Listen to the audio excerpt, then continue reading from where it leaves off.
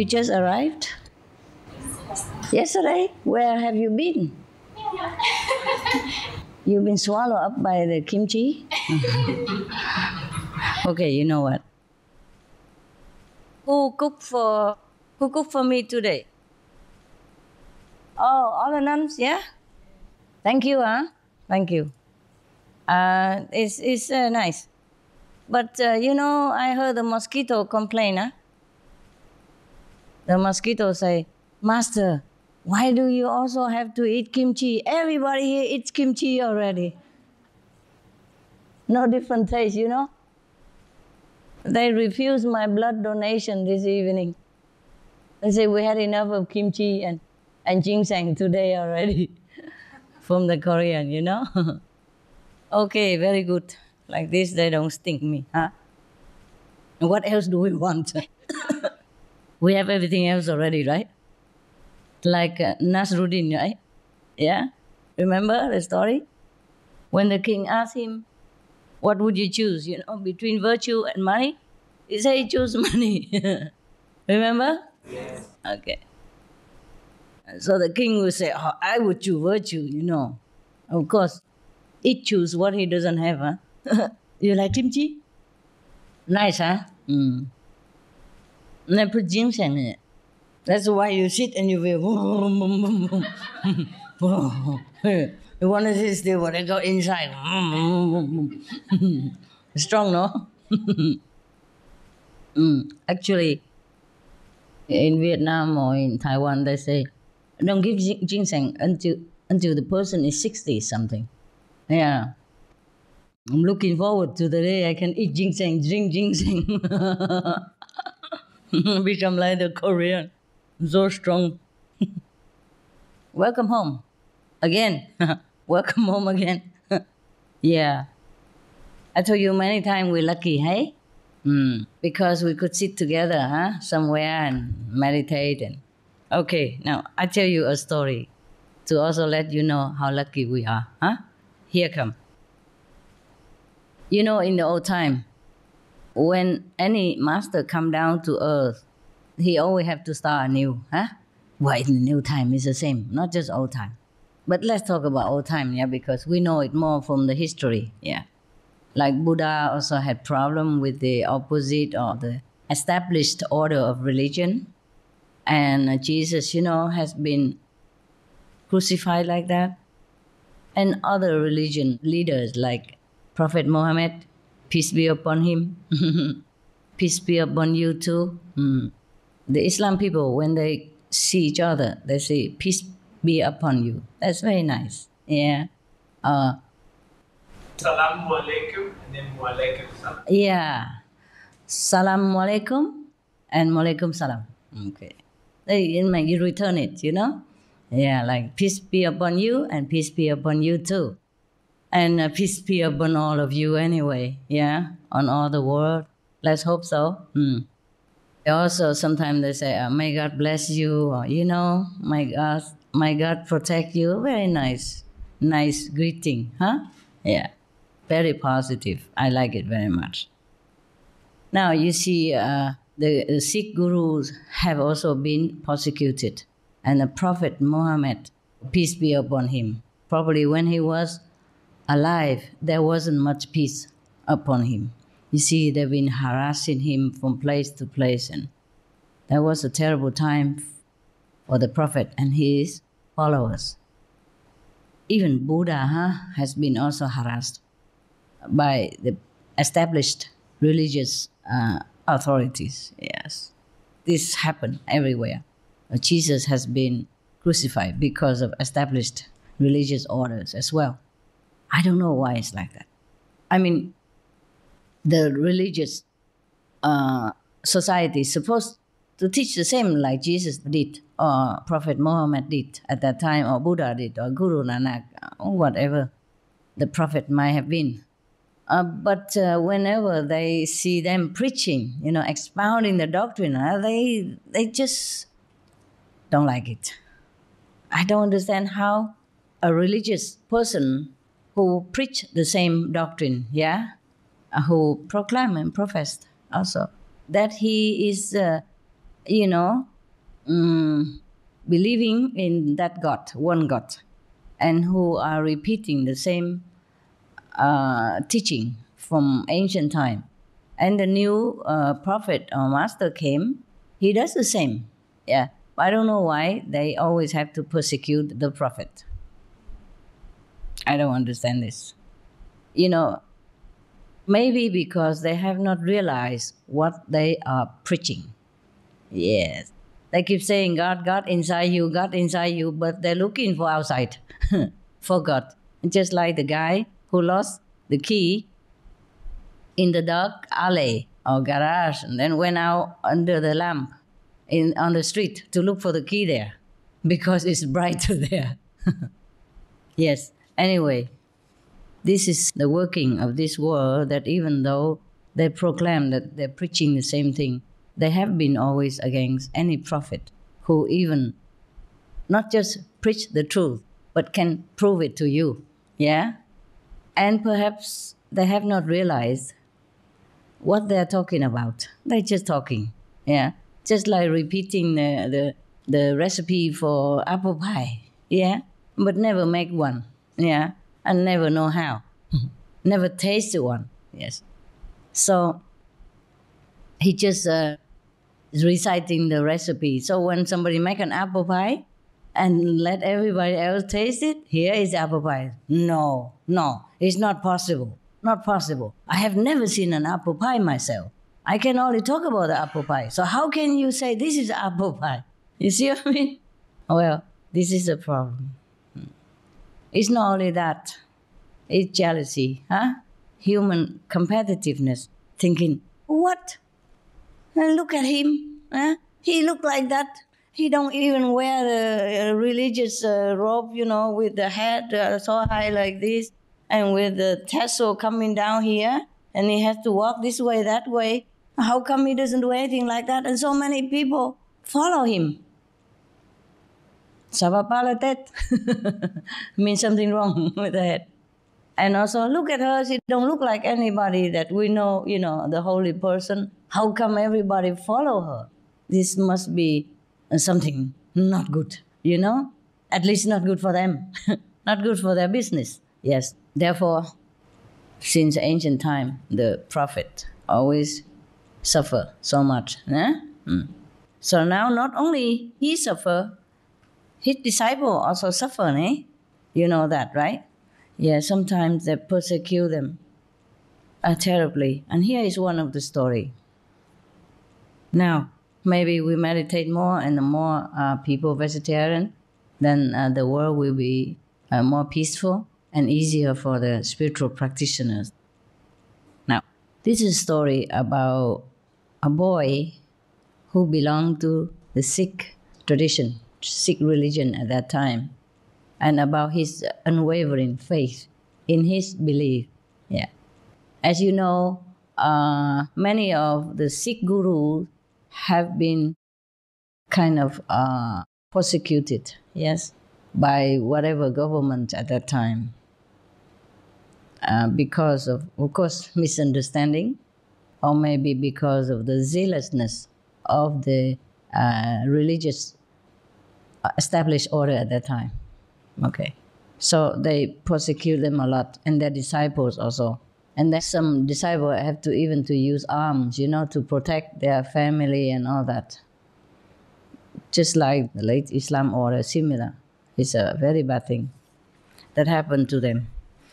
Now, this is a story about the, the boy who believed in Sikhism at that time and in his gurus. In India, in the time of King Farrukhsiyar. The king was fighting against the Sikhs of the Punjab. I told you. Huh? Yes, because the king either belonged to one religion or another. And then if somebody preached something else and not from the book, then uh, the king think that he has the right to uh, uh, destroy that uh, infidels, you know, who doesn't believe what he believes. Yes, it happened all the time. And it is a very sad affair because everybody thinks they believe in God, nah? But then for, in the name of God, they're killing each other. Mm.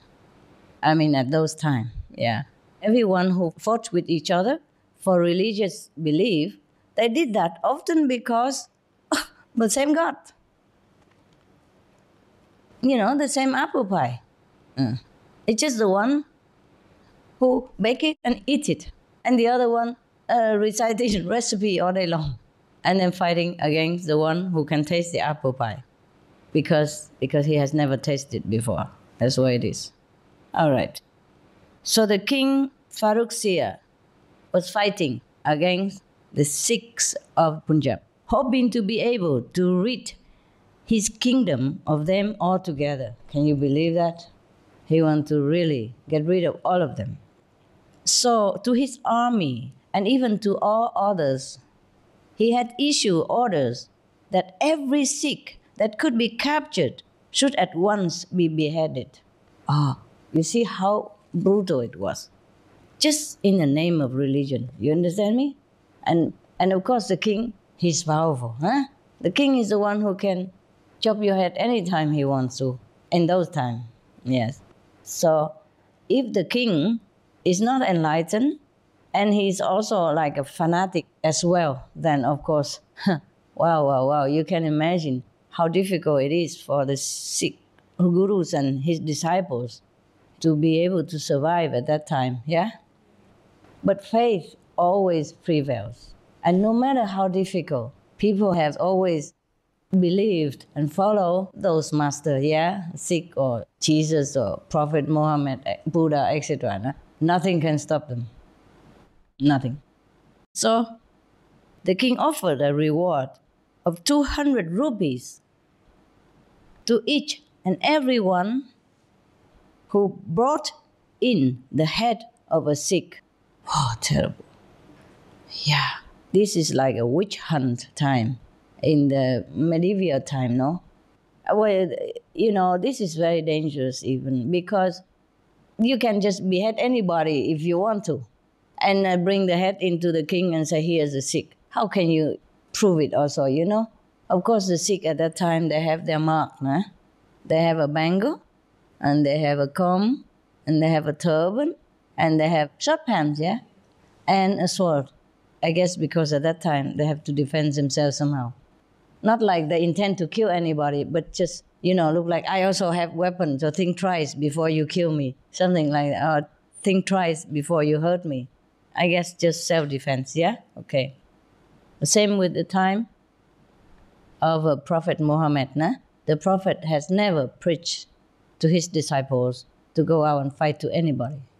Yeah. But they just have to defend their kids and kins, you know? And they just have to have something to show to the enemies, at least that I have also. So one of us is going to get hurt, you know? Maybe I get hurt, but you also will get hurt. So, uh, you know, maybe leave us alone, something like that. Well, they're just hoping, you know? They were hoping. Okay, now, as luck would have it, the king's army in the Punjab one day captured nearly 500 Sikhs. Oh, God the number that we are right now. Can you imagine all of you get beheaded at that time? Terrible. Who were hiding in a forest. They're hiding in the forest already. Still, the king army came in there and hunted them out. You know, this is a terrible thing about fanaticism. Yeah? I mean, if they're doing something wrong, yes, okay, huh? But they're not. Yeah? The Sikhism, it's just like every other religion now you know, preaching righteousness, yes, vegetarianism, yeah, contact with God. But that is the thing. You see, most established religions at that time doesn't preach like that because the master has been gone. So no contact with God. So now the Sikh disciples say, I have contact with God, you know, uh, or the, say, come to my guru and you can have direct contact with God. Then of course they cannot bear it. How possible? Because it's been long time since uh, their religious uh, founder uh, been gone, yes, and nobody passed down this uh, direct lineage, yeah, di- direct link to God anymore. So they just reciting the uh, the teaching of the old prophets and uh, claiming that it is a religion And everybody else who doesn't believe in that or who doesn't do the same stuff are atheists or uh, whatever. Whatever excuse, whatever name they give them, they have to be eliminated oh, in such a way, my God. Okay. They were hiding in the forest, yeah? All of them were brought uh, to Delhi, Delhi, the capital of India. It still is.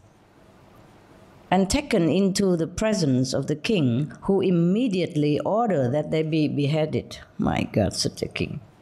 I don't believe this. I don't understand this. I mean, people don't have to believe what you believe, huh? Maybe you don't contact them, you don't believe what they believe, and you don't uh, protect them or give them any privilege, but to behead somebody just because he believes something else, this is too much, huh? Hmm. I can't believe this. But it happened, you know, in history of, of our human race. In the group of the prisoners, there was a small Sikh boy who was the only male child in his entire family.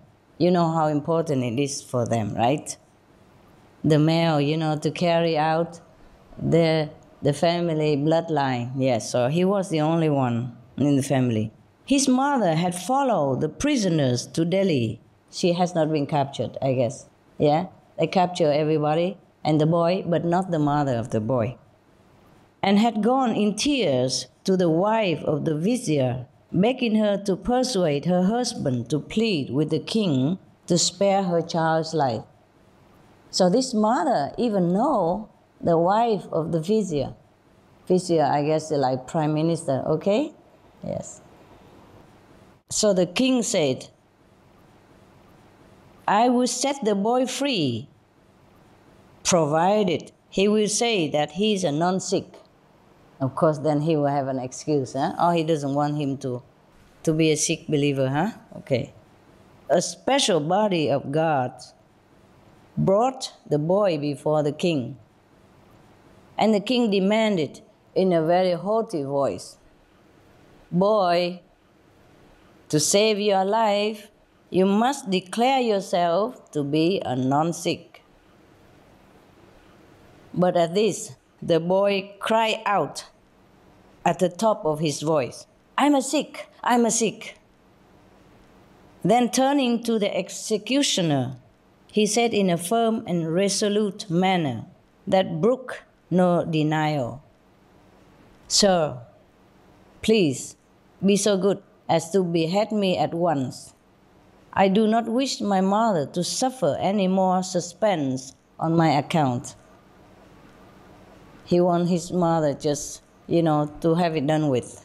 So that at least when he dies, she knows he died anyway, so she won't suffer and worrying whether he will die or not. That is also agonizing, you know, waiting, waiting, and don't know what happened. Don't know if your son's going to be spared or not. You see what I mean? This is a terrible thing also for a mother to undergo. So he begged the executioner just to behead him and have it done with. So this is a type of faith that a Sikh, Sikh means disciple, huh? Okay, should have in his Sadguru. Sadguru means true master, eh? enlightened master. So that even if it is a question of his losing his life, he will still persist in his faith and devotion to the Master. It is like that. And Guru Nanak said something like, a true disciple is without hope or fear. He who has no fear of death is a disciple perfectly harmonized. Well, it's easy to say. but when it comes to life and death, we sometimes shock ourselves, yeah? Out of uh, thinking whether or not we should go like that. Uh, when Jesus was uh, captured, you know, by the Roman, yes, uh, one of his disciples also denied him three times. I don't know why he denies him. It's just, it's just the nature of human beings, you know. Mm. When it's suddenly confronted with something that is going to annihilate the, the so called existence that he knows. Yes, even though such a disciple like Peter huh, mm, should have known better. Maybe he denies it so that he may be not having to bear witness against Jesus as well. It's not like maybe he's not fearing for his life, yeah. But if the Romans know that, oh, I know this man, then maybe he has to testify, say, okay, he's the master, the so-called master that you want uh, to catch, and he cannot tell lie, you know. So he rather tell tell a small lie, say, I don't know him. Then later having to, you know, deny that he is a master even. You understand me? Or testify, uh, tell the truth, like he's a master, then endanger his master's life. You see what I mean? So I don't think uh, that uh, Peter really fear for his own life. I think he fear for his master's life. And in this situation, he rather tell a little lie, a white lie, to save him, instead of having to tell the truth and harming his master. I think that's what it is. Wouldn't you say? Yes. Yeah. I don't think uh, a disciple with uh, St. Peter's status would fear for his life. Yeah? Would you? No. Okay, that's it for now.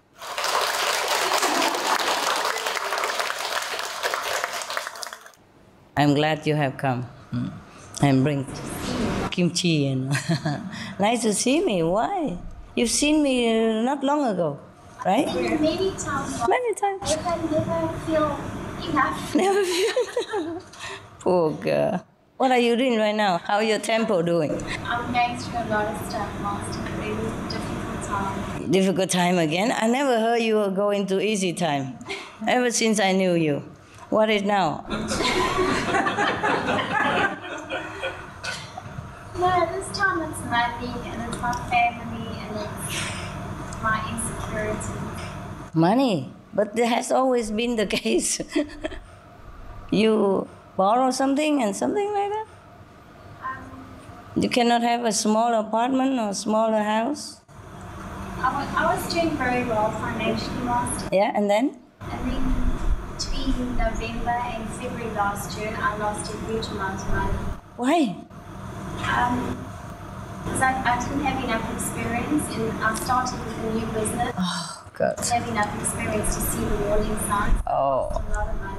oh my goodness. And now you start from scratch again. And, and now I'm really in trouble. Oh, poor guy. How much did you lost? Seven million. US dollar? No, How much is that in US dollar? it's a million dollars. A million dollars. One million dollars. That's a lot. One million, you can buy a lot of stuff. I'm so sorry. Why did you start so big like that? I don't know, I was, I was doing very well. I mean, I really did very well. I mean, Then why you have to start a new business? because I did real estate for 18 years and I was tired. I didn't want to do it anymore and I didn't feel inspired. Oh God.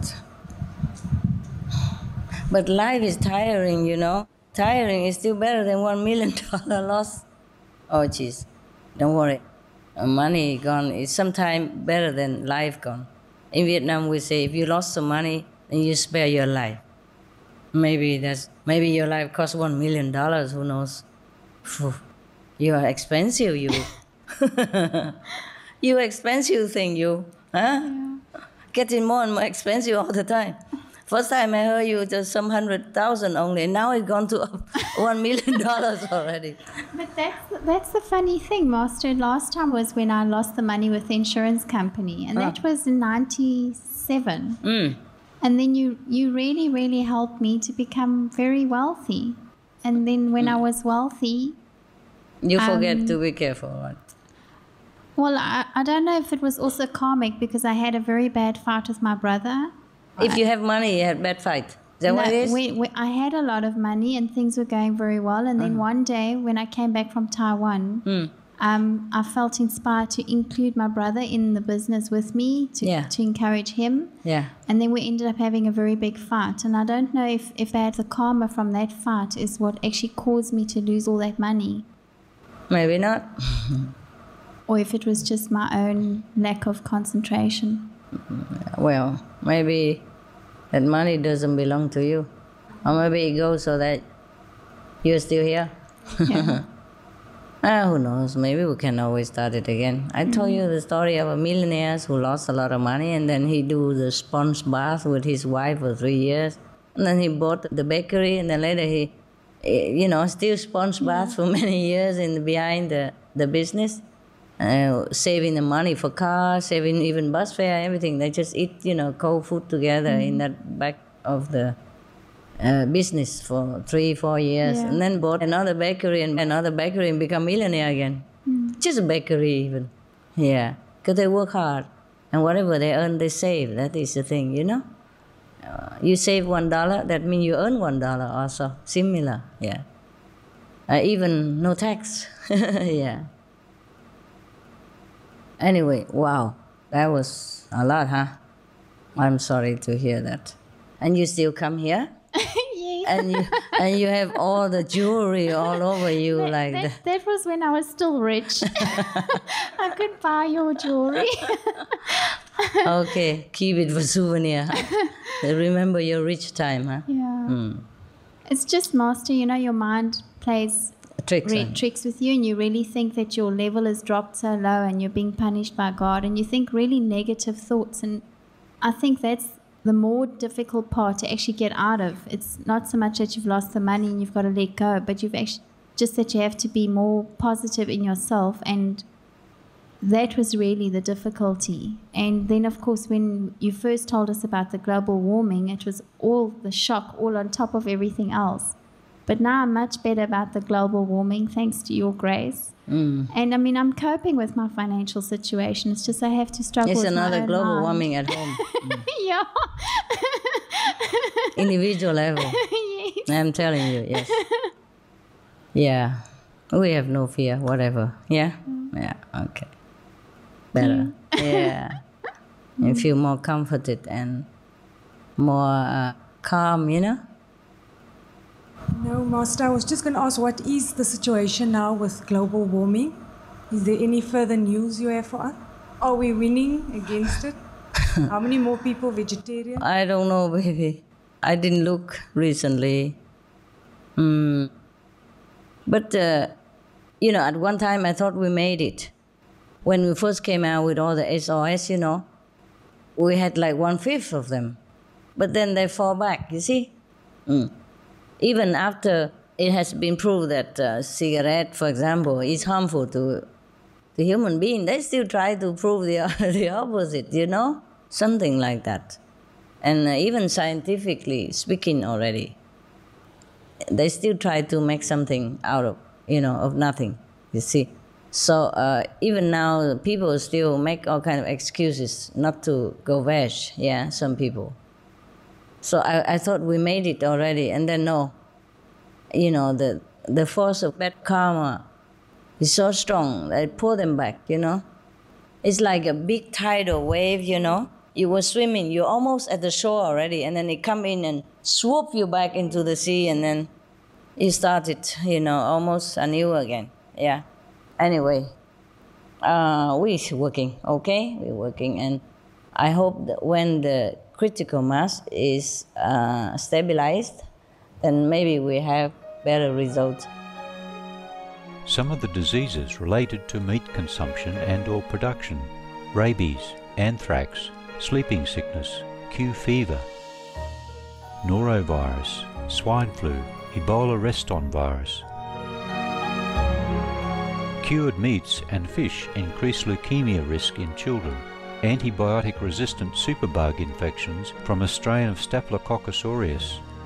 Blue tongue disease, E. coli, salmonella, bird flu, mad cow disease or Creutzfeldt-Jakob disease, 90% of the population at risk, pig's disease or PMWS, listeriosis, shellfish poisoning, preeclampsia, Campylobacter, Clostridium difficile, diseases hidden in healthy appearing livestock, some of the costs of meat eating. Infertility, eating just one serving of meat per day increases the risk of women's infertility by 32%, with additional meat consumption increasing the risk. Heart disease. Over 17 million lives lost globally each year. Cost of cardiovascular disease is at least 1 trillion US dollars a year. Cancer increased childhood cancers and adult reproductive cancers from hormones in meat. Colon rectal cancer. Over 1 million new colon cancer patients diagnosed each year, more than 600,000 colon cancer related mortalities annually. In the United States alone, colon cancer treatment costs about 6.5 billion US dollars. Millions of people are newly diagnosed with other meat-related cancers every year. Diabetes. 246 million people are affected worldwide. An estimated 174 billion US dollars spent each year on treatment in just the United States. Obesity. Worldwide, 1.6 billion adults are overweight, with 400 million more who are obese. Costs 93 billion US dollars each year for medical expenses in the United States alone. At least 2.6 million people die annually from problems related to being overweight or obese. Environmental uses up to 70% of clean water, pollutes most of the water bodies, deforests the lungs of the earth, uses up to 43% of the world's cereal, uses up to 85% of the world's soy, causes world hunger and wars, 80% cause of global warming, plus more. Some of the costs of milk consumption. Cowpox from milking cows. Bacterial microbes, pesticides, and enzymes found in cheese derived from the inner stomach linings of other animals. Up to 80% of the calories in cheese are from pure fat. Breast, prostate, and testicular cancer from hormones present in milk. Listeria and Crohn's disease. Hormones and saturated fat leads to osteoporosis, obesity, diabetes, and heart disease linked to higher incidences of multiple sclerosis, classified as a major allergen, lactose intolerance, plus more. For more urgent information, please visit www.suprememastertv.com forward slash killers. For help quitting, please visit I think it's a little bit stabilized now. It just we didn't reach the critical mass yet, you know, and uh, it takes some time to to know whether it is stabilized or not. You see what I mean? Uh, sometimes, like people come to my lecture and immediately they start vegetarian diet. Yeah, and they even got initiation and continue vegetarian diet even for a while. And then uh, friends, family, business travels, inconvenience, or habits, you know, pile back on them, and then some of them fail. Remember? Yeah. Uh, yeah. Huh? You have that, yes, of course. And then maybe sometime later on they return, you know. It's not just uh, uh, our group, you know, many people outside also they follow some other tradition. They became vegetarian, but then they fell back, yeah. And then after I saw Supreme Master Television talking about SOS, yeah, and also about the vegetarian diet and the consequences for the global warming and the health of human being. And now that we have all kind of, I tell them to collect all kind of evidences from scientists, from uh, doctors, yeah, and all that. So uh, when they read that and they heard we're talking about vegetarian diet again, then they return to vegetarian after many years. Yes, I even met one in Monaco last time when we had a little group meditation in Monaco. I met one person there. She's from Canada, yeah. Say five years ago she was vegetarian for a long time. And then now she's not. You, you understand me? Many years time, long, long time vegetarian. But I'm sure she changed now. Because I tell you, you better return to vegetarian diet. I'm sure she would have. But the thing is, people is not infallible. Yeah, They change sometimes. It depends on whether they are strong or not in their mind, in their willpower, or if they keep in good company or not. Yes. If they keep in good company with you, go group meditation every weekend. That's why I told you, please go group meditation. And you are together, you see? You see? Like, uh, like this is together, huh? It's difficult to break. Huh? You see what I mean? Even just three, or just two of them, difficult to break. Yeah? But one. See this? Easy, yeah? It's just a little wood, you know. It's not karate, don't worry. I won't use it on you. I will only break your ego if necessary. Yes. You understand me? Yeah, okay. So if people fall, maybe because they're lonely, you know, they're alone and nobody support them, and they don't have this uh, group supporting energy, and they have to go out socialize with, uh, you know, the world. Most of them are meat eaters, and slowly, one one at a time, a little bit at a time, one bite at a time, then they reverse the the meat eating habit. Understand that? Yeah, it's, it's to feel sorry for them. That's why I say go group meditation. You be stronger together. Yes, you be stronger together. You see, the wall is made up with many bricks. If it's one brick, it won't be so strong. It won't be so strong like that. Yeah. so group meditation is important. Until you're strong by yourself, then you're not waver. Wherever you go, it doesn't matter anymore. You know what? When you're a little tree like this, huh? anybody can hurt you. Yeah?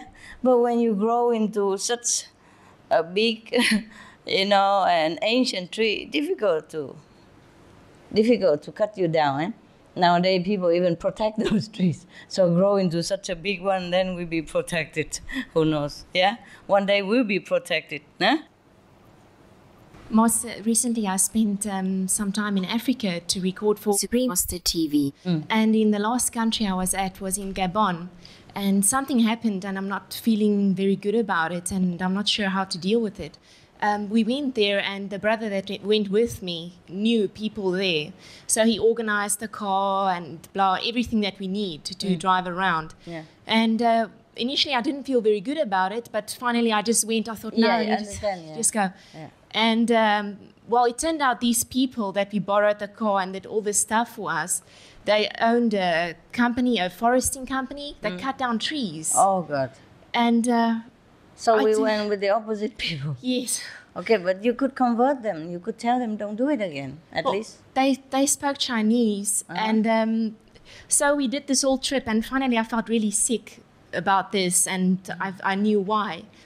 And I didn't know how to fix it. I had like two hundred dollars on me, and I gave it to this guy to give to them to say this is for me, for the car, everything. But I mm-hmm. still feel like I'm dragging this box of karma or something. I don't know if it's my mind or Well, no. At least you tell them don't do this. At least you are there to convert them, to change them.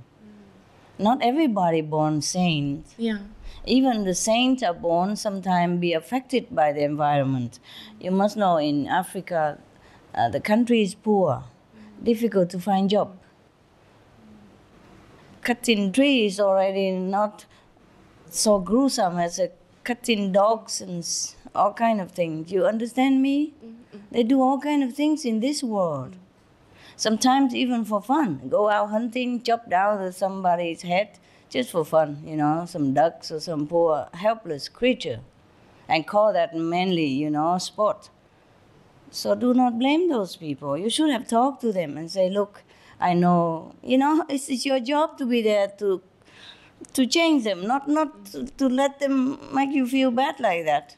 the other brother, I think he spoke to them um, Mm. because they spoke Chinese. They're from China or something. Yeah, yeah, yeah. But um, I don't know. I just don't feel very okay with it. Well, you should have talked to them. You know, mm. the whole world is not okay. Mm. yeah, where do you find okay? You tell me. Everywhere is okay. Except okay. within our group, huh? Mm. and within spiritual other spiritual group. Where else is okay? Hmm? Where people are not connected with God is not okay. Even though maybe it look okay on the surface, you know. You know, a lot of people they don't understand that cutting down forest is something that they should not do. They think just cutting the trees. Besides, it's not even uh, their initiative. They just work for some big bosses somewhere. You see what I mean? And they contract it even internationally. So he, he think he's doing an honest job. Yeah, get paid to cut down some trees. You understand me? Uh, You should mm, actually not uh, condemn people so quickly. Therefore, you feel bad. Of course, you don't like it because you know it's not a good thing that they have done. But you should turn around and know why they did it. They just don't know. Just like most people, they eat meat, they don't see how the cow or the pig has been killed in such uh, inhumane and cruelty. Yeah? And people who wear fur do not see how they, you know, beat the head of an innocent baby seal, for example, like that, just to get a little piece of fur to adorn some temporary body. You understand what I mean? Something like the two ends is very far from each other. The one end is killing, yeah, and the other end is beautiful product, already made, uh, you know, so nothing, nothing that can evoke their feeling of guilt or pity for the animals. When they see a beautiful fur coat, they say, "Oh, I want that," and the husband have money bought it for her just to please her. You see, and she want to wear it just to please people's eyes and to herself, to make herself look beautiful. So the intention is good. It's just the other end, they don't realize it. They cannot see it. And it's not immediately hit them that some poor creature had to die in such a cruel way in order for, for that fur coat to be made or for that piece of meat to be on your table, for example, like that. So people don't know. You know, least of all these cutting wood people. Since uh, time immemorial, go in the forest, chop wood to make fire and all that, and sell it to people. It's a very normal occupation. Yeah? It's just right now, they do it en masse. They chop forests just to raise cattle, yeah? Or do all kind of thing that is not uh, very helpful to the world, yeah? But otherwise, for them, it's a normal job. They don't think anything about that. You see what I mean? Because they don't know much about global warming.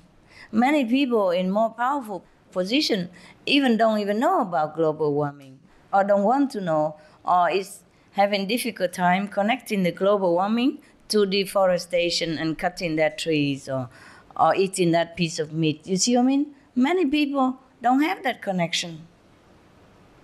So how would you blame a poor and you know uh, probably even uneducated guys who chop some wood over there? Okay, you had to be the good one. You have to tell him all the truth about wood cutting, at least, and maybe he knows it. And then he think about it. You see, instead you just cut them off like that. It's not too good. Next time, do better. Okay. Try not to blame people too much because everybody is doing something that they don't know what they're doing. That's why they killed Jesus. Yeah? That's why they uh, prosecuted uh, Prophet Muhammad and Buddha and other guru even. The story I just told you now. Just to believe in something, you get your head chopped off. No matter if that religion is good. At that time, the Sikhism just teach people to do good also. You see, just... Uh, you know, like the five precepts, don't steal. I don't see in the Granth Sahib, you know, the book, the Bible of the Sikh that teach people to go out steal or kill anybody or even kill animals or do anything wrong at all. You see what I mean? So Sikhism was very good then. And still you have your head chopped off. Yeah? And the king, supposed to be the leader, you know, the wise one the one who has all the education possible that afford to him. When you're king, you can have anything you want. You can have all the knowledge, yeah? You can get all the books or, or uh, study anything you like. So he should be very knowledgeable one. But look how ignorant he was. Just kill anybody that belong to Sikhism, yeah? Even little boy like that. Do you understand me? So being a king is not always good if you don't use your power properly, that king would have gone to hell. I'm sure he must have gone to hell for doing such a thing. Yeah? So many people don't realize. Can you imagine a king, yeah, who have all the knowledge offered to him, yeah, who have whatever he want, he can get any book he want, however rare, he can study anything he want, however remote, yeah, and he's still so ignorant like that. How would you blame a small woodcutter in Africa? He's a poor guy. His family needs money, and he did not think cutting trees is anything wrong. He just cut one, two, three every day. He did not connect it with the whole global warming or anything else, because it's just his job. He think like that. He did not even know. Nobody even told him anything. Do you understand now? Okay. Next time, do better. Okay. Okay, you meditate now. I'm always around. We're always together. Okay? Good, good, good, good.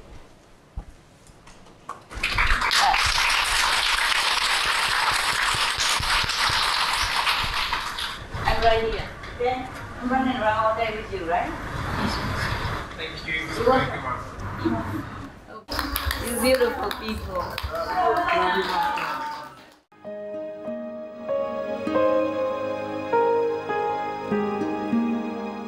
Vegetarianism in Religion.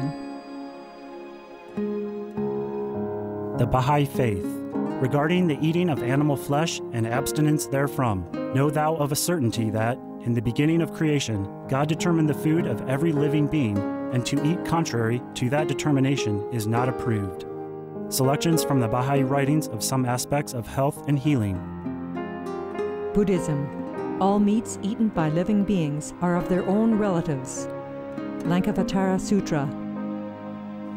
Also, after the birth of the baby, care must be exercised not to kill any animal in order to feed the mother with meaty delicacies, and not to assemble many relatives to drink liquor or to eat meat, because at the difficult time of birth, there are innumerable evil demons, monsters, and goblins who want to consume the smelly blood.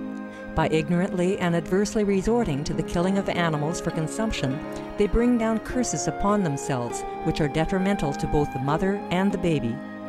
Ksitigarbha Sutra Be careful during the days immediately after someone's death, not killing or destroying, or creating evil karma by worshipping or offering sacrifice to demons and deities, because such killing and slaughtering committed, or such worship performed, or such sacrifice offered, would not have even an iota of force to benefit the dead, but would entwine even more sinful karma into previous karma, making it even deeper and more serious.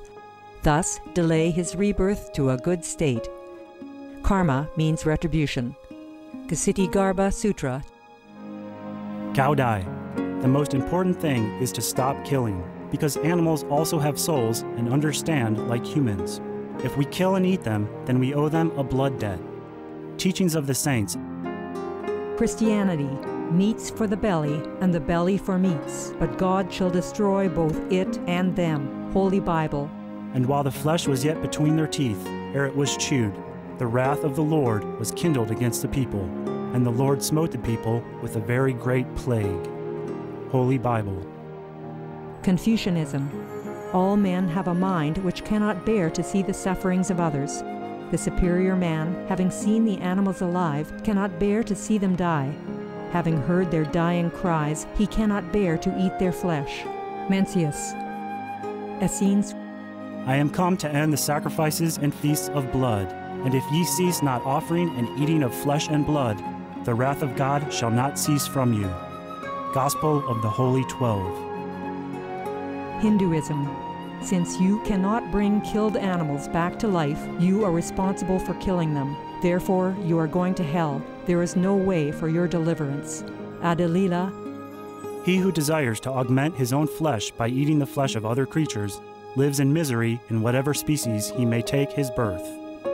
Mahabharata anew. Islam. Allah will not give mercy to anyone except those who give mercy to other creatures. Hadith. Do not allow your stomachs to become graveyards of animals. Hadith. Jainism. A true monk should not accept such food and drink as has been specially prepared for him involving the slaughter of living beings. Sutrakritanga. Judaism. And whatsoever man there be of the house of Israel, or of the strangers that sojourn among you, that eateth any manner of blood.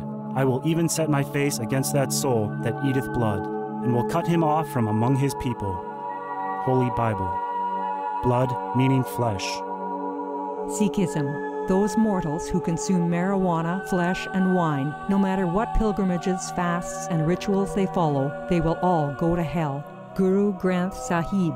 Taoism. Do not go into the mountain to catch birds and nets, nor to the water to poison fishes and minnows.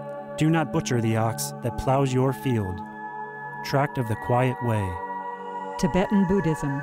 The offering to the deities of meat obtained by killing animate beings is like offering a mother the flesh of her own child, and this is a grievous failure, the supreme path of discipleship. Zoroastrianism. Those plants I, Ahura Mazda, or God, rain down upon the earth to bring food to the faithful and fodder to the beneficent cow. Avesta. Everybody knows that vegetarian diet is good for health and to save the planet. They will be awakening their own great, compassionate, loving self nature, and then their level of consciousness will rise up automatically and they will understand more than they ever did, and they'll be closer to heaven than what they are right now.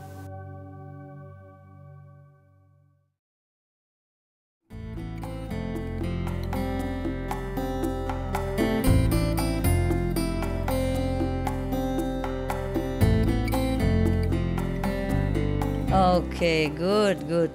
Where from? Australia. Australia. Tell me where you're from. Puerto Rico. Puerto Rico. Oh. Panama. Panama. Welcome. New Zealand. New Zealand. Panama. Panama. Iran. Iran. Iran. Oh.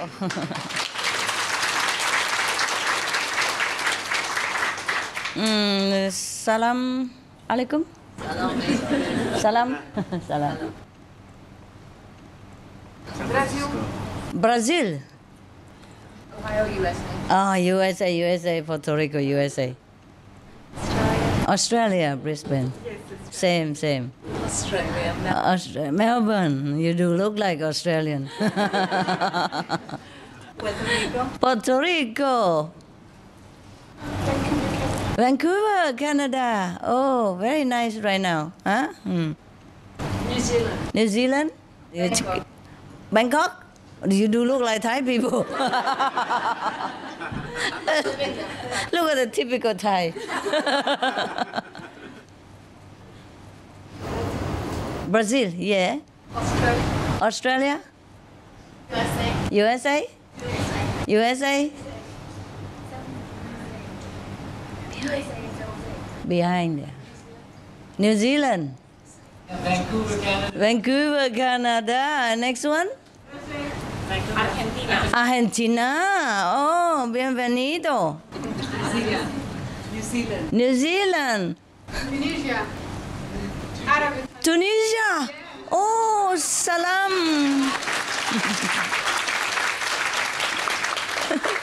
See, two of you, Tunisia, made friend already. Ah, wonderful. See, I dig out some rare gems. Paraguay. Paraguay. Oh. Welcome. Any rare subject? Costa Rica. Costa Rica? Wow. Panama Panama also a little rare, yeah. Where from? Brazil. Brazil, uh, South America. But where from? Brazil, where? São Paulo. Sao Paulo? Goiânia. Okay, welcome. Hmm? Right. Any rare jewels somewhere else? Welcome. Anything special? No? You. You. You. Same old. okay. Now let's uh, have a story. This is a Vietnamese story, but I translate it into English. okay, this is uh, the story about uh, different angles, yeah? The truth from different angles. Mhm. There were three persons, tourists, uh, walking around in a forest, uh, looking around. And uh, it's a very nice weather that day. Yeah. The sky is blue and clear, and the wind is so nice and cool, and the scenery around is very uh, calm and refreshing. Yeah. So, three of them just walking, walking, and then they arrive at uh, the foot of the mountain. And then suddenly they look up on the top, on the top of the mountain, and they saw a guy standing there, like a statue, just standing there. So immediately the first one said, I betcha this guy is looking for his dog that might have been uh, lost in this kind of dense forest. so the second guy say, no, no, I don't think so. You know what? I think he might be waiting for someone. So the third person say, ah, you both wrong. You know, both of you are wrong. I think this guy, huh? According to me, I'm sure this guy is standing there, just uh, breathing because he likes the, the fresh air of the mountain and the forest. Okay. So the three of them begin ah, arguing. three of them, each one think they, they have the reason, you know, that they are right, and the other ones are wrong. So they become heated arguments. My goodness, just because of a poor guy standing there. It's none of their business. See what I mean? this is a typical of human mind. Yeah? Uh, there's nothing to do. they make things up and then they begin to make trouble with each other. All right, now. Then after a while, they're tired. They say, okay, we uh, better all climb up to the, to the top of the mountain and ask this guy why he is standing there. Oh my God, how dare he? how dare he standing there and make trouble for the three people? All right. The way to the, uh, the mountain top is very difficult, you know? They didn't know uh, the, the correct way, so they just uh, fumbled themselves climbing up with rock and trees and all that, climbing up. Just to know why the guy was standing there. yeah, you're laughing, but a lot of people do this kind of thing, you know? I mean, they waste their time for nothing. And I tell you what, uh, some people just climb up even without any guy standing there.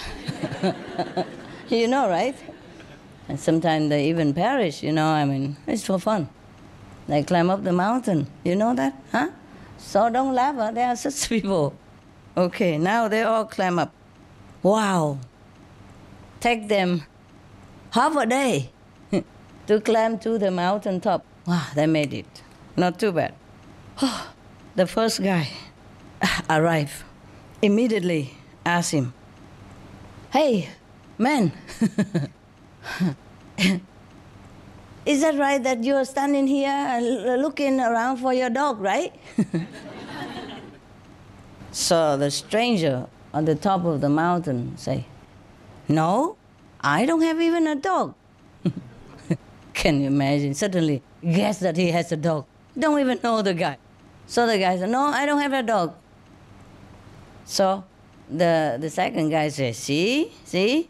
And he said, Okay, I think you're standing there waiting for your friend. Is that correct? And the stranger say, No, I am not waiting for anybody. ah, the third guy said, I told you. Right. He's so happy. He say, Told you. Huh? You both wrong. Now, I think he's standing there because he loves this kind of fresh air and he wants to come here to take as much fresh air as possible. So the guy, what did he say? No? If you go in the mountain and forest. You don't, you don't breathe in fresh air. Then what would you do? Why no? So, oh, all right, maybe. So when you go to the mountain, you don't breathe the fresh air. What do you do? You block your nose. Huh? what else? You listen to the silence or to the nature sounds Nature silent sound, uh, the view, to get away from people. uh, to get away from people, Elevate your heart to heaven. elevate your heart to heaven. so serious. Got lost? Got lost. I said these are different angles of the story. Different. okay. Anybody else? Exercise? Exercise? Oh, smart people. He shook his head, the stranger from the top of the mountain. He shook his head. So the three tourists all asked him at the same time, Then, what are you standing here for? What is the reason for standing here on top of the mountain? So, what does the stranger answer? Tell me. Now you have second chance to, to have three cakes or from my lap. I'm watching you three coming up. Watching the three coming up, he didn't know they were coming up. He was dropped by helicopter. By helicopter? A good imagination. To be one with the mountain. To be one with the mountain. Wow. to elevate the heart to heaven, to be one with the mountain. He wanted a secret uh, rendezvous. He want a secret rendezvous? Oh, who knows? Yeah. He wanted to see the view. He want to see the view. That's already done. He just want to be alone. He's flying. He's flying? He's depressed and he's thinking about jumping. Oh, oh, want to commit suicide. Yeah. Choco. He was in his home. He was in his home? Yes. He was lost and he was trying to locate his home down. He was lost? I already say, okay. What? Looking at the world. He's looking at the world. What else? Who else? I think I put the cake back. Wanted to see things from a different point of view. he wants a different point of view. Huh. Yes, ma'am. Looking for the highest God. The highest God? God. The highest God from the mountain? Oh, sure, it cannot be higher than that. He wants to be one with God. he wants to be one with God. Why, you guys really have Zen problem. The sky is the limit. The sky is the limit? Really? I thought he's not. He's hiding from his wife. He's hiding from his wife. He's fed up with the world. He's fed up with the world. Too bad. Okay, okay. Last chance. What? No. You're just scratching your head, right? Okay. He's waiting for the people is coming to ask him what, why you are doing here. Oh, he's waiting for the three people come up and ask him why you're doing things. Is he having lunch? He's having lunch? Breatharian. Breatharian? Possible. He wanted to see Supreme Master Television. A bad reception downstairs.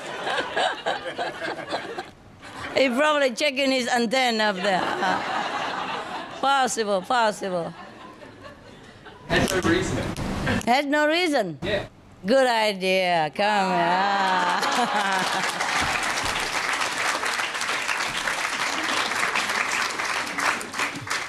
Well, it's also not fair because you all told all the reason already. So, so he has nothing else to say. So he said no reason. there you are. Bravo. Okay. Just good luck, okay? Don't be don't be depressed, okay? He's the last guy, he has no more reason, so he said no reason. Too bad. You should have waited until the last the last minute. Then everybody tell everything and master throw the cakes away already. Then you say, ah, no reason. Then then you win. Okay, tell you what. That is correct. Yeah. The guy shook his head. Yeah. And laughed out loud. Yeah.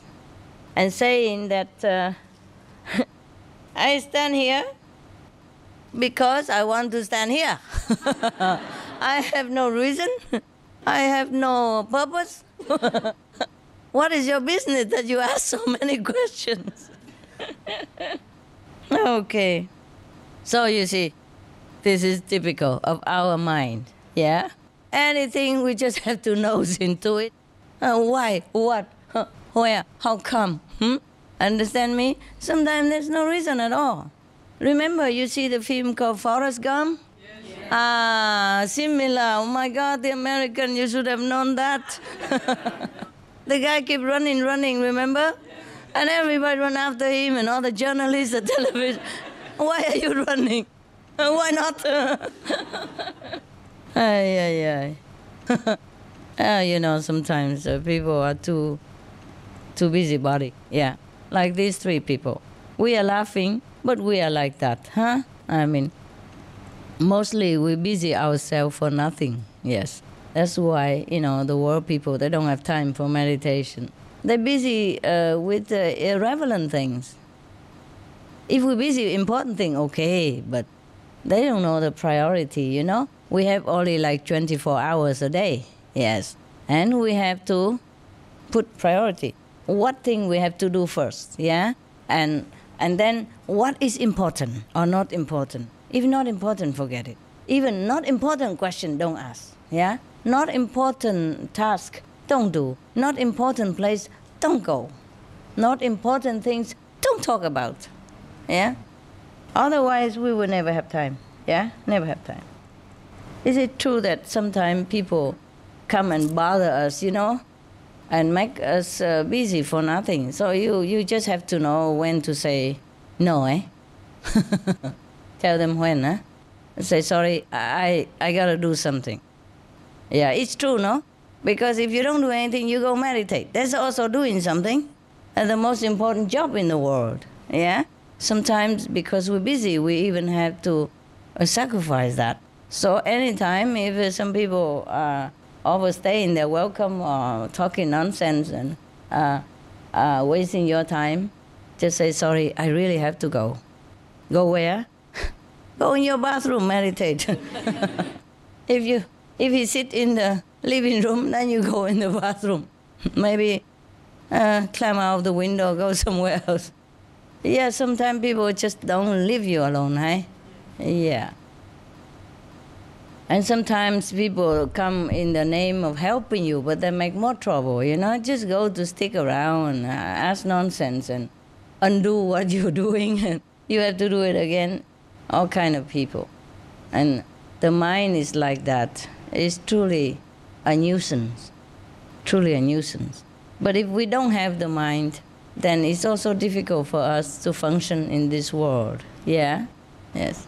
If we are mindless, also no good, is it? okay. that was a very, very cool story, huh? a lot of people, you know, are the same when they want to find out the truth. They want to look for, search for the truth, but they looking elsewhere.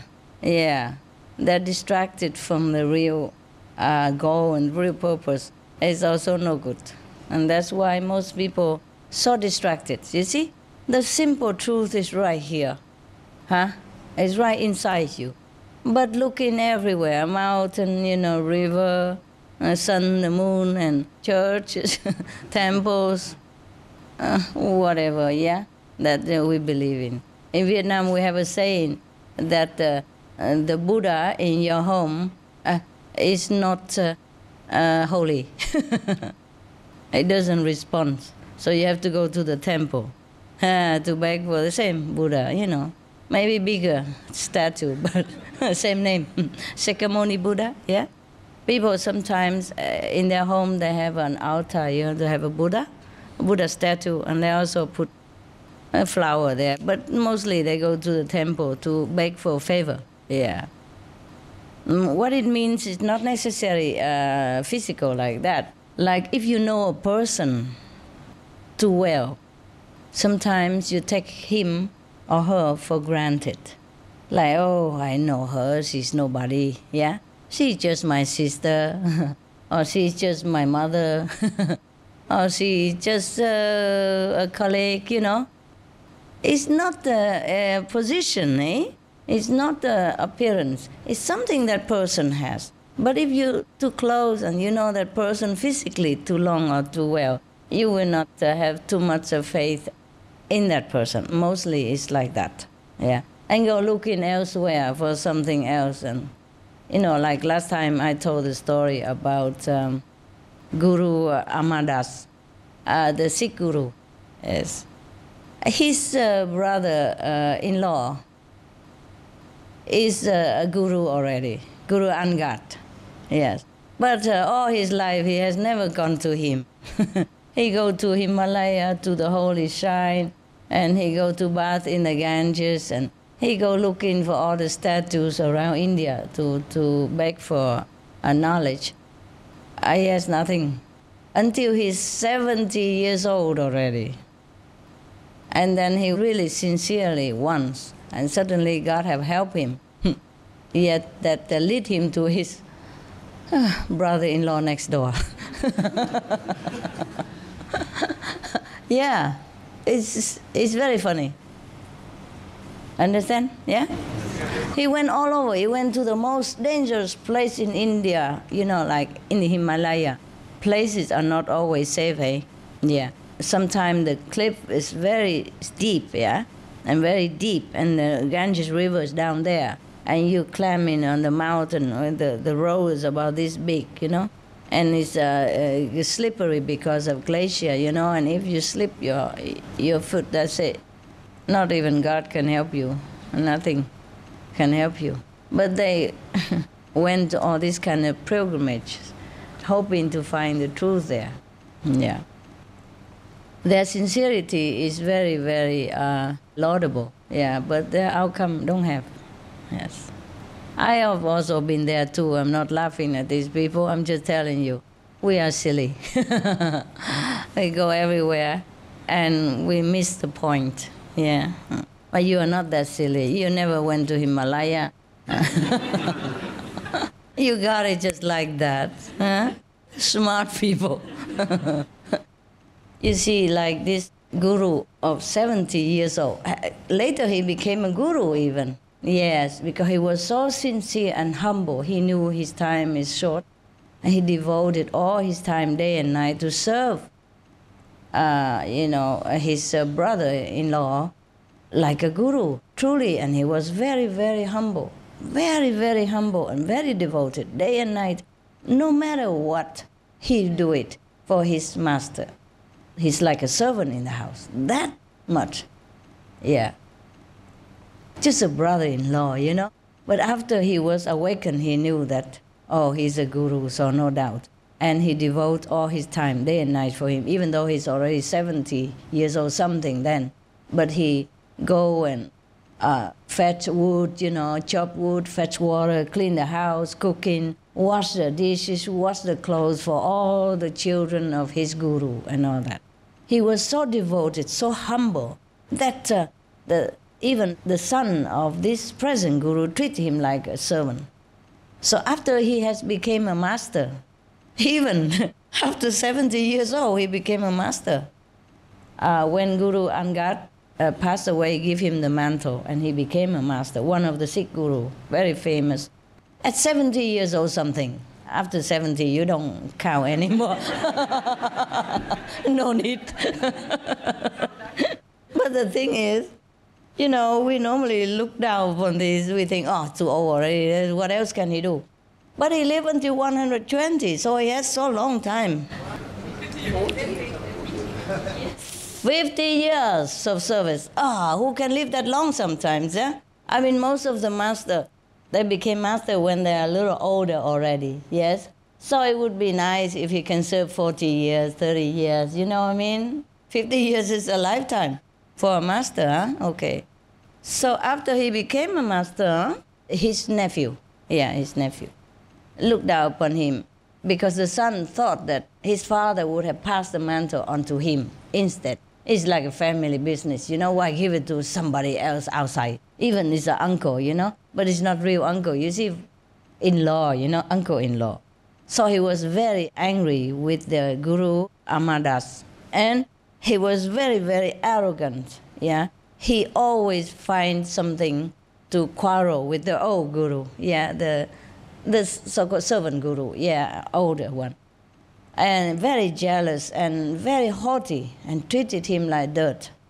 Uh, so one day, the son eh, of the deceased guru Angad, uh, passing by the, new guru, the old one, yeah, 70 plus guru, passing by with a horse, uh, like this, you know, uh, don't even go down from the horse and see the guru sit there.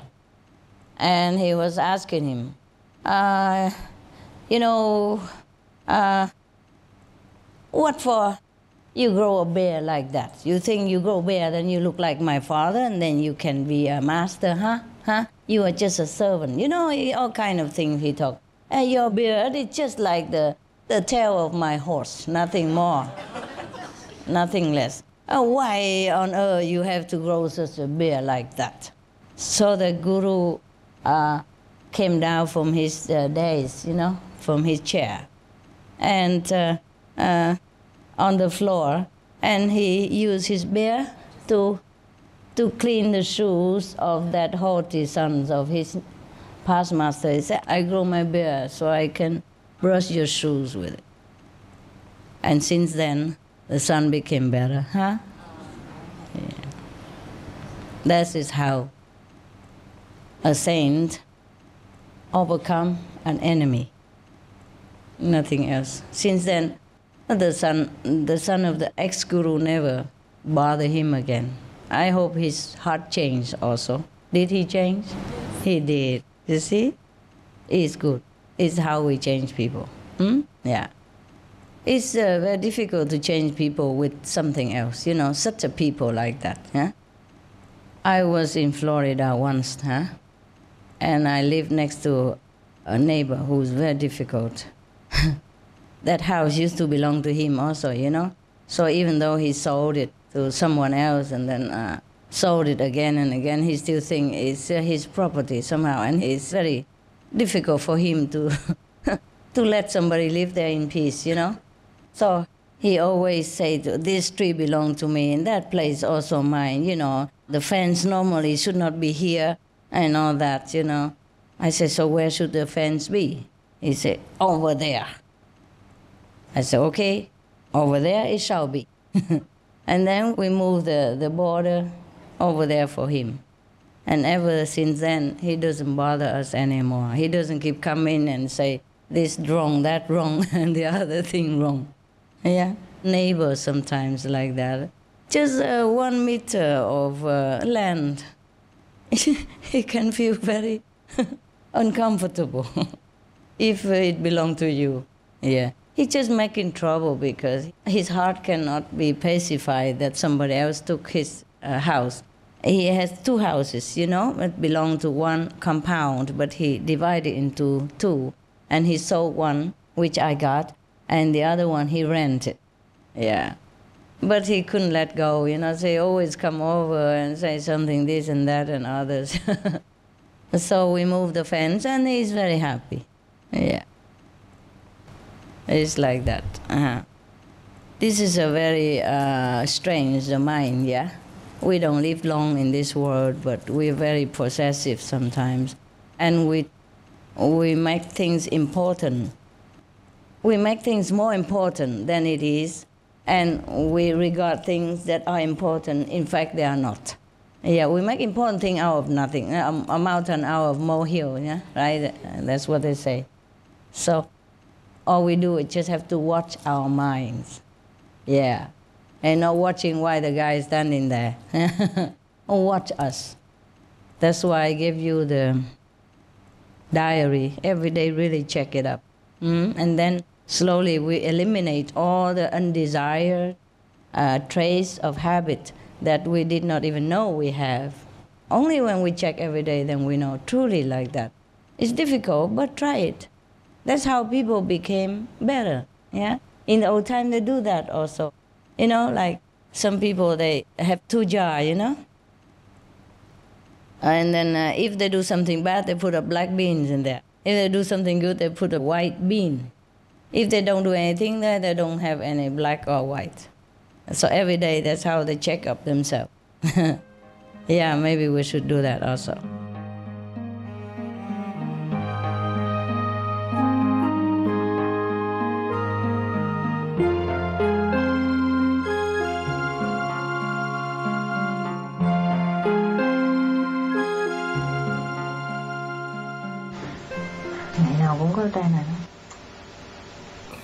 Thức tỉnh ở Na Uy thấy nhà nước họ cũng có tí tiễn về ăn chay chứ không dạ con xin đơn nhập à, đồ chay vô á À. thấy nhà nước họ chấp nhận rất là lẹ Dạ. có ba tuần à Oh, yeah. mà Na Uy là EU mà họ chấp nhận là khó lắm À, vậy hả? dạ tại À. trước khi con xin đơn á À. con cũng à, gửi cái ếch u ếch của sư phụ á con gửi mấy cái sách biếu của sư phụ nhỏ nhỏ đó tiếng Na Uy á rồi gửi cho nhà nước rồi họ đọc họ rất là khẳng định cái thích ăn chay á Yeah. dạ, rồi nhập đồ chay vô á sư phụ Rồi. thấy cũng ờ, bán chạy cho người bản xứ họ ăn á À. tại bán rẻ hơn thịt chứ họ thấy ăn sao giống thịt quá thấy ờ, giống như cũng rẻ rẻ hơn thịt Yeah. thì thấy họ ăn thấy họ ăn nhiều lắm sư phụ Ừ. dạ rồi tụi con làm mấy cái web mà để trong internet á Dạ. rồi người bản xứ họ vô đó họ đặt dạ bước Phải. đầu tụi con nhập đầu chai á qua rất là khó khăn á Vậy hả? nhờ sư phụ gia trì ăn bại giờ suôn sẻ ở đâu giờ đó á Ừ.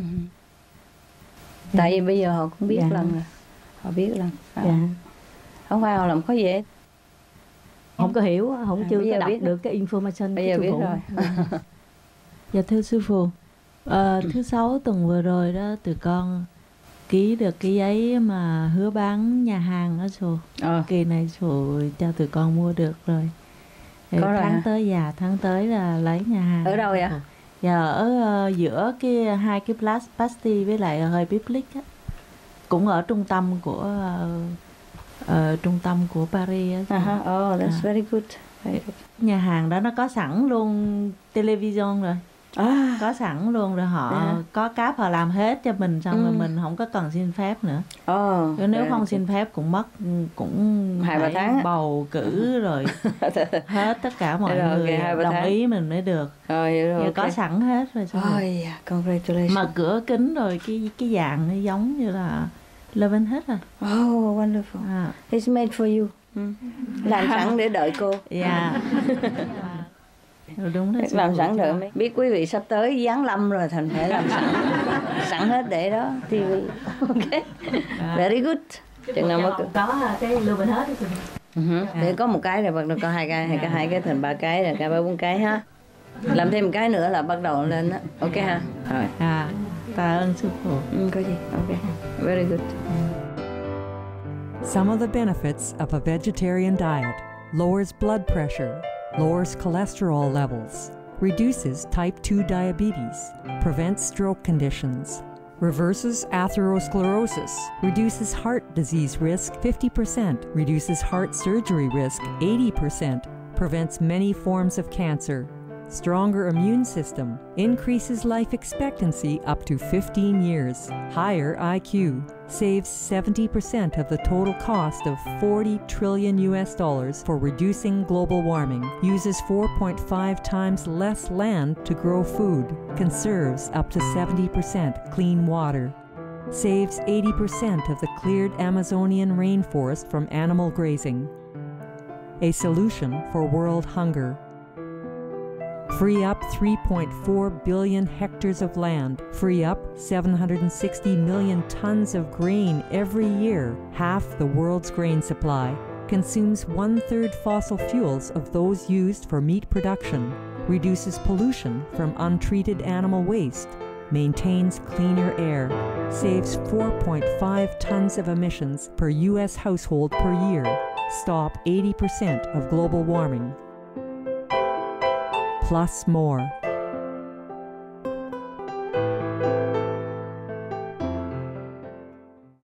cho con xin hỏi một câu Dạ. hồi đó con coi băng sư phụ nói với mấy người thường trú á Ừ. thường thường một người mà đi xuống dưới này để ừm, sinh ra ở trái đất này đó thì Ừ. cái đẳng cấp của họ bị giảm đi một phân nữa Ừ. như vậy cái lúc mà mình thọ tâm ấn á, mà mình thấy lại cái cảnh giới của mình đó là cảnh giới nó đã giảm rồi hay là cảnh giới trước khi mình tới vậy sư tùy theo tùy theo nhiều khi nếu mà chưa có làm nghiệp chướng nhiều á Dạ. thì mình có thể là ờ, lên cao hơn cái cảnh giới mà mình mình từ đó mình xuống nữa Dạ. à, còn nếu mà làm nghiệp chướng nhiều thì chưa chắc đã lên tới cái, cảnh giới mà mình đã bỏ để mình xuống đây Dạ.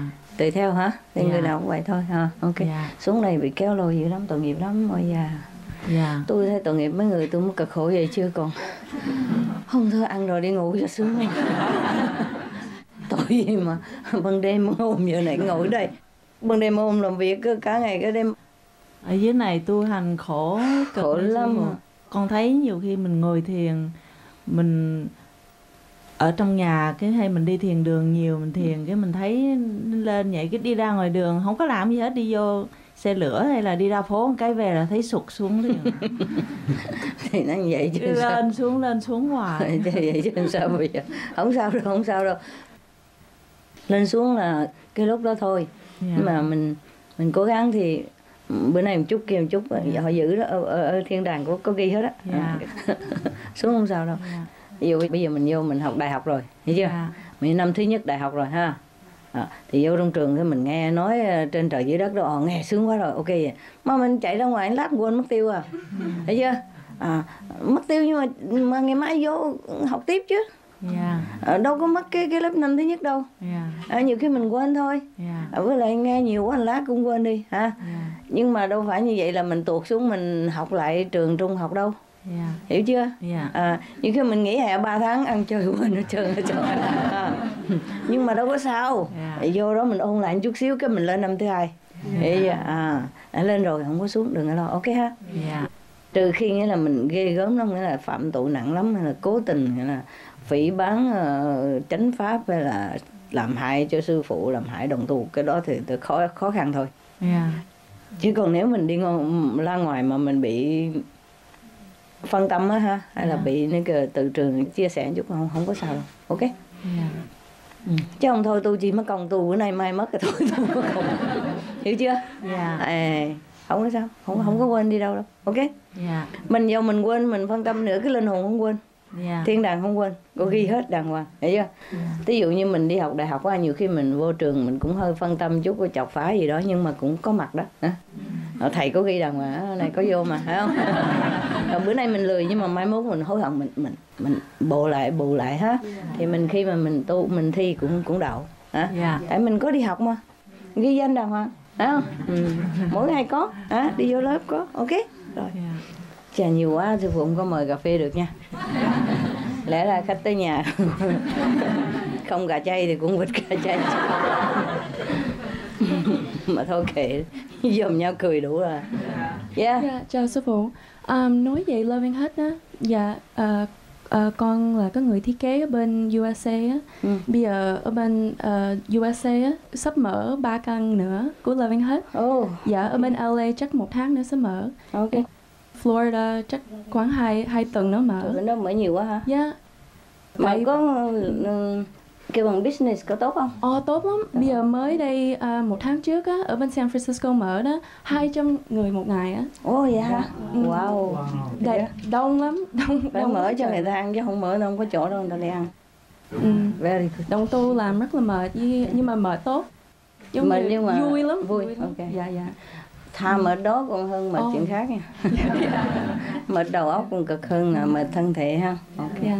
Um, Linh có đi bên New York á, Ừ. 80% ở trong cái Manhattan có chỗ là cái chỗ đông nhất á, Ừ. cái khu đông nhất á, giống như rất là nhiều hàng nhà hàng thịt á đi đóng cửa hết rồi. Dạ. đóng cửa rồi. Do đóng cửa thì 80 phần trăm đóng cửa. giống như đang đang ế lắm á. đó hả? Sắp đóng cửa. Đó ờ đúng rồi. Ok ok. Biết biết. Sư phụ biết biết. Thì ừ, có rất là nhiều đồng tu đang muốn mở là bên Ừ, đó. dạ. Dạ. Cảm ơn sư phụ nhiều. Tức nó cũng 90 phần trăm nhà hàng tàu cũng bán. Ờ, cũng ba ờ tốt quá. Tốt quá lẽ ra mình mình thấy người ta phá sẵn một buồn giùm cho ta. Nhưng mà cái này phải thành thật nói tôi không buồn gì hết. Mừng giùm cho họ nữa. Mừng giùm cho họ bớt nghiệp đi. Nếu mà họ mà tiếp tục bán đắt hả? Tối ngày cứ chặt gà chặt vịt hoài là cái tay chân đó là mai mốt không biết đi đâu ạ. Hiểu chưa? Nghiệp chướng nặng này lắm như vậy họ phá sản như vậy nhưng mà linh hồn họ được cứu à, à biết đâu tự nhiên cái họ tỉnh ngộ ra cái không có còn chặt gà chặt vịt đó. Cái tự nhiên tỉnh ngộ ra cái, cái mở hàng chay đi hả? Hoặc làm những chuyện khác có công đức hơn nhiều. Chứ đâu phải phá sản là không tốt đâu ha? Cái này phá sản là tốt lắm. Mấy nhà hàng thịt phá sản như nào tốt như nãy cho tốt cho địa cầu nữa. Ừ. Thôi bác, giống như 50% off. Trời ơi, tức là cái gì cũng uh, hạ giá xuống 50 phần trăm á, 4 50 phần trăm á. Nó bán không được. À, bây giờ đâu cũng vậy hết đó. Ok, vậy tốt quá rồi, ok. Rồi, có việc làm rồi, có việc làm. Dạ. bây giờ không có chuyện gì làm cứ mở nhà hàng thôi, nhà hàng rẻ mà, bây giờ bán rẻ. 4 50 phần trăm bán rẻ, ok. Very good. Đúng không? Sư phụ đi đâu cho ông cũng có nhà Đi đâu cũng có nhà hàng sướng không à hồi hồi đó giờ chỉ có cái niềm mơ ước duy nhất đó đi đâu không có đồ ăn nữa. Thì cái hồi đó sư phụ hồi mới đi học hoàng pháp vô trời đi kiếm nhà hàng chay cực lắm. Cái ăn lăng nhăng hết mà bánh mì với lại cái gì á cái chấp gì đó. Hả? À, thưa sư phụ. À, ngài con coi chương trình à, truyền hình. Ừ. của sư phụ á đài sư phụ truyền hình vô thường sư á. Ừ. mình thấy là rất là phấn khởi nhiều người ủng hộ chương trình sư phụ và ngay cả những cái người mà tên tuổi những người mà đinh tinh bằng bạc đó ừ. cũng ủng hộ con rất mừng yeah, yeah. Yeah. con mong muốn làm sao con số nó là cái người ăn chay đó ừ. càng ngày càng tăng tăng lên cho nhanh ừ, yeah. sẽ đi tăng cầu này biến chuyển nó thật nhanh sẽ tăng bác ơi sẽ ăn yeah. chay hết ừ. yeah.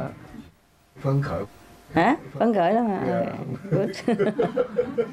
Ai đâu? Nữa thưa sư phụ uh, hai vợ chồng con ở Phần Lan đấy à. mà làm uh, bán đồ chay đấy thì à. chúng con đi gọi là phòng vòng quanh hết Phần Lan này à, chín năm nay rồi. Nhưng mà bây giờ là tình hình là về ca nhạc đây thì cái bến người ta cho thuê rất là mắc. Mua bến chứ không phải mình cứ cái xe mình đậu vô mình bán đâu. Không có.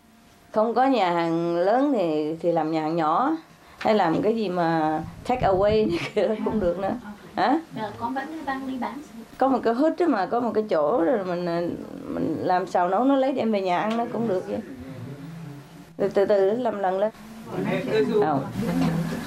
Thế còn vì à, em em trai con không có ở đây nhưng mà ở Việt Nam mới mở nhà hàng được uh, mấy tháng nay ừ. nhưng mà nói lại là mỗi ngày đều trên dưới 200 khách wow. không có ngày nào dưới 100 khách cả wow. ở, ở Hà Nội ở gần Hà Nội thôi đó hả wow. ở Hà Nội thôi mà vâng. tốt vậy đó hả tốt mà đông hả? đông khách lắm wow. đông khách thì uh, ai cũng ăn chay hả rất là nhiều wow. sinh uh, chủ yếu là sinh viên các trường đại học wow. tại họ biết á nha họ vâng. coi trong computer họ biết oh, vâng. mấy người là tốt quá tốt ok very good I like that. Uh, I like that.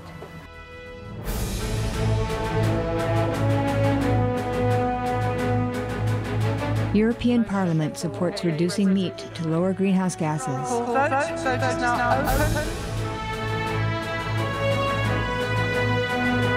Reduce your meat consumption or stop eating meat totally. During discussions on greenhouse gas reduction goals, the Climate Committee of the European Parliament officially recognized livestock's contribution to global warming and recommended a reduction of subsidies to the livestock industry to curb methane. The European Parliament has adopted its own position on climate change as an institution. And as a Vice President, one of the proposals I have made is in line with your own, which is that we should eat far less meat because that's one of the major sources of greenhouse gases. Tout le monde sait bien, si on veut rendre notre planète euh, soutenable, il va falloir réduire notre consommation de viande, ça on le sait bien.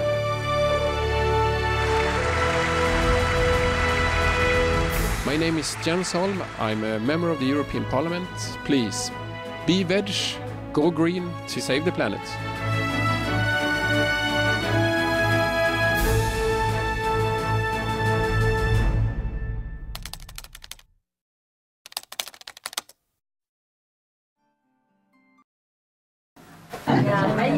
Mà hồi xưa đó có có người đồng tu của mình đó ừ. ông chồng không có chịu tu ăn chay được một vài bữa rồi ông bài bác. Ừ. từ hồi mà ông coi coi SMTV á là bây giờ ông ăn chay xong rồi mà người nào mà mà ăn mặn là ông la người nào mà nói động tới sư phụ là chết với ông. Vậy yeah. bây giờ dữ vậy đó. Ok. Bây giờ cái ông ăn chay rồi ông hiểu rồi ông coi đài sư phụ á người nào mà nói động tới sư phụ nói chứ có làm được giống bả không? Thấy không? Người ta đó phụ nữ một mình mà người ta làm được bao nhiêu chuyện đó. Ờ, đúng ờ, rồi. rồi cho phép luôn đứa con gái à, 10 15 16 tuổi truyền tâm ấn cho thọ thọ tâm ấn à, cho cô đó thọ tâm ấn luôn. Ok vậy tốt. Yeah. thì cái chứ họ tại họ không hiểu ấy chứ hả? Yeah. Dạ. làm việc cực khổ lắm được cái gì đâu phải không? Yeah. có bao nhiêu tiền cũng ra hết mà có tiền mà nó chạy ra cũng hay đó chứ sợ nó không có. Có mà nó chạy ra cũng lỡ lắm rồi ok. Ok cảm ơn ha giữ tiền được tốt. À, không, không cần phải giữ là đủ xài phải không? À, đủ xài thì còn dư cho người khác là tốt lắm rồi ha không cần nhiều. À nghĩa là đủ đủ để cho cho người ta hay là làm những việc này kia kia nọ đó ha. Ừ. Chứ cũng phải sư phụ giữ để ăn. À tôi ở nhà ăn dạng gì hiểu rồi ha. Không mua cơm, cái gì đó. Gạo lứt muối mè. À. ăn cho, đặng cho nó vừa bổ mà nó vừa rẻ mà vừa dễ đó mà. Ở nhà sư phụ tại không có đồ ăn khác. Chỉ có gạo lứt muối mè thôi. Hiểu chưa? Còn có ăn thêm nữa là miếng đậu hũ sống, với lại cái miếng dưa chuột gì đó. Không có đồ ăn. Tại vì không có rảnh mà đi chợ mua cái mấy chỗ xa đó. Cũng có đồ ăn nhưng mà không có ngon lành gì lắm, hiểu không? nó súp mà cái giải thưởng hòa bình Nobel đó mà. Ăn cũng ngán thành cái gạo lứt muối mè là để cho nó vừa đủ dinh dưỡng vậy đó. Dù không có đồ ăn không sao vậy đó. Nhiều người bệnh họ ăn gạo lứt mà hết bệnh à. rồi tại vì mua đồ ăn không được mà. Không có rảnh đi mua mình ăn gì cho nó nó nó nó khỏe không mấy chó cũng ăn vậy. Thích lắm. Ừ. ăn cơm hả? À, ăn cơm. Không phải ngày nào cũng ăn cơm nhưng mà. Đây có thí dụ buổi sáng bên nhà sư phụ sư phụ ăn một ngày nhiều nhất là hai bữa không? Chó cũng vậy thôi ừ. con cũng tập ăn à, ngày hai bữa buổi sáng thì mình có cái gì ăn nấy rồi hiểu không? Bánh mì hay là những cái thứ gì mà họ làm sẵn đó mà ha. Yeah. mà sư phụ thường thường không có ăn sáng. Thằng dồn với một bữa cho nó lẹ hiểu không? Ăn sáng còn ăn trưa ăn chiều nó trời ơi. Tôi thấy ăn ít ngồi thiện khỏe hơn. Ờ à, ít ngồi thiện khỏe hơn ừ. mà ý sư phụ nói hà mà cái ông mà ông nấu đồ không ngon đó là ông cũng giúp cho sư phụ giúp cho mọi người trong nhà. Lại nấu đồ ngon ăn nhiều ăn nhiều thì ngồi khó mập rồi không? Tại ra cái khi mà mình ăn ăn ngon thì ok ngon miệng cũng sướng vậy ha. Còn ăn dở thì khỏe nó ốm. À, ngồi thiền đỡ có cấn cái chỗ này biết đâu nhưng không ngồi không được tại nó bự quá cái bụng bự quá ngồi không được. Ngồi dưới đất không được phải ngồi ghế thấy không? À, ngồi cái nó cấn chỗ này nè thì sư phụ thấy cái gì cũng tốt hết thí dụ mà người nào nấu ăn ngon ok thì ăn thử ngon miệng nó cũng sướng ha cũng vui vẻ ha. Còn người nào nấu ăn dở thì cũng cảm ơn ông. Dở quá không muốn ăn. Ăn chút cái thôi. Mình không có nói cái chuyện ngoài kia. Nói chuyện trong nhà thôi chứ ở ngoài kia phải nấu cho ngon. Ở nhà thì nó khác phải không? Ở nhà sư phụ thấy ăn giản dị nó khỏe nữa, nó không có nó không có mất thì giờ nhiều hiểu không? Nấu nồi cơm uh, gạo lứt để sẵn người đứa nào đói lúc nào đói đem vô bỏ một tô rồi quậy với cái gì đó. Muối mè với bỏ chút muối hay là xì dầu vô là xong á. Là cắn hai miếng dưa chuột nữa. Dưa chuột đậu hũ gì đó ha nếu có. Nhiều khi ăn không thôi cơm muối mè thôi đủ rồi. Lâu lâu người ta tới nhà hàng ta ăn cho nó ngon miệng không? Cái mình cũng nấu giống mì ở nhà thôi về thôi dẹp mình nấu cái gì mì gói cho rồi. Hả ờ. ta tới 5 phút ra liền. Người ta uh-huh. hài lòng với cái uh, nấu uh. nấu lẹ lắm yeah, nhưng yeah. mà ngon. Dạ dạ. dạ very good. Vậy mới tốt. Ừ, nấu mới ngon nè không? Yeah, yeah mà lẹ nữa ha? Yeah. mà sạch sẽ cái điều đó là quan trọng nhất. Đừng bắt ta đợi dài của nước miếng chảy lòng thòng rồi chừng mà đem đem phở ra nó trộn với nước miếng hết ngon